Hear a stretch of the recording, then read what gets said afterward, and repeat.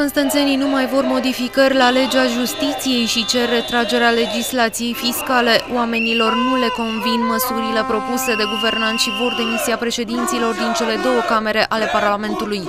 Peste o mie de persoane din Constanța au ieșit din nou în stradă.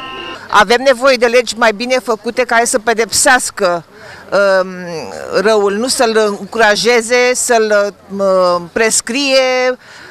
Um, este inadmisibil ce se întâmplă. Am venit pentru justiție. Sunt de partea DNA-ului și cei care sunt vinovați trebuie să plătească și trebuie să demisioneze, să fie înlăturați. Ăștia nu ne reprezintă pe noi. Cerem întâi de toate demisia lor și demisia acestui guvern care caută să modifice prin ordonanțe de urgență legile importante ale țării și să se facă în sfârșit dreptate în țară. Modificările legilor justiției, salariile care vor scădea din cauza trecerii contribuțiilor sociale de la angajator la angajat și scumpirile din ultima perioadă sunt doar o parte din nemulțumiri. Au făcut dezastru în economie, dezastru în justiție.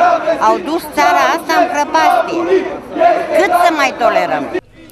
În fața sediului PSD de pe bulevardul Alexandru Lăpușneanu, protestatarii au scandat slogane antipartid, apoi pe același traseu s-au întors la prefectură.